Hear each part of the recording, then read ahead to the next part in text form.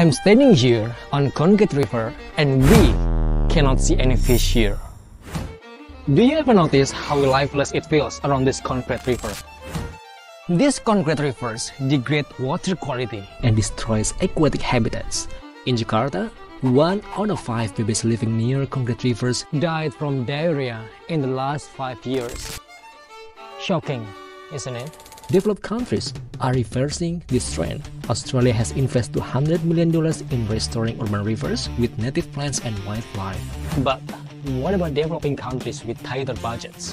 Before committing to extensive build project, my research used numerical modeling to explore how vegetation can help naturalize rivers in a cheap way. Laboratory data validate these models where the lab environment imitates the and vegetation and fieldwork in Brisbane provides a real-world lab to learn from. River naturalization is not just about the environment, it's about healthier communities.